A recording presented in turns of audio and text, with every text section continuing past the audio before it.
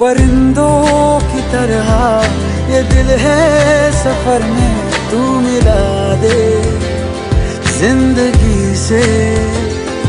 बस इतनी इल्तजा तू आके एक दफ़ा, जो दिल ने ना कहा, जान ले।